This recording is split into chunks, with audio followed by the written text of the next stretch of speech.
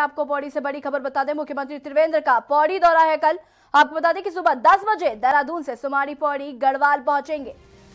CM Trivendra Singh Rawat, आपको बता दें कि सुमाड़ी में एनआईटी का करेंगे शिलान्यास। कार्यक्रम में कई वरिष्ठ बीजेपी नेता मौजूद रहेंगे। बड़ी खबर आपको पौड़ी से बता दें, जहाँ पर एनआईटी का शिलान्यास करने पहुँचेंगे सीएम त्रिवेंद्र सिंह रावत। आपको बता दें कि सुमाड़ी में एनआईटी का शिलान्यास करेंगे। कार्यक्रम में कई वरिष्ठ बीजेपी नेता भी मौजूद रहेंगे।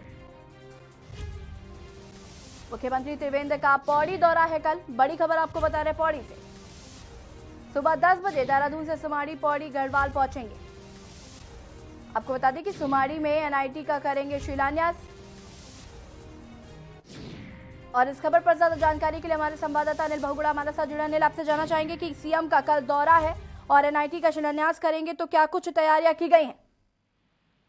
श्रीनगर में पौड़ी जनपद का श्रीनगर तहसील का एक गाँव है सुमाड़ी जिसमें भूमि दरों में एनआईटी के लिए निःशुल्क अपनी भूमि उपलब्ध कराई है।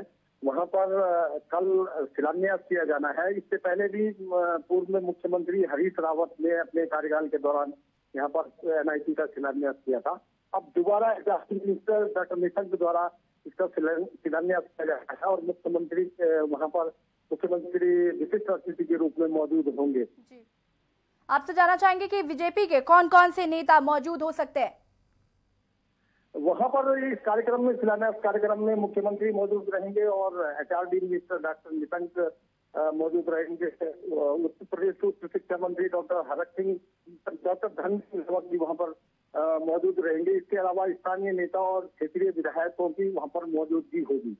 जी अनिल तमाम जानकारी के लिए आपका बहुत बहुत धन्यवाद। आपको पौड़ी से बड़ी खबर बता रहा है, जहाँ पर कल एनआईटी का शिलान्यास करेंगे सीएम त्रिवेंद्र सिंह रावत। आपको बता दें कि मुख्यमंत्री त्रिवेंद्र का पौड़ी दौरा है कल, सुबह 10 बजे देहरादून से सुमाड़ी पौड़ी गढ़वाल पहुँचेंगे सीएम। सुमाड़ी में एनआईटी का करेंगे शिलान्यास। बड़ी खबर आपको पौड़ी से बता रहे जहाँ पर कार्यक्रम में कई वरिष्ठ बीजेपी नेता मौजूद रहेंगे।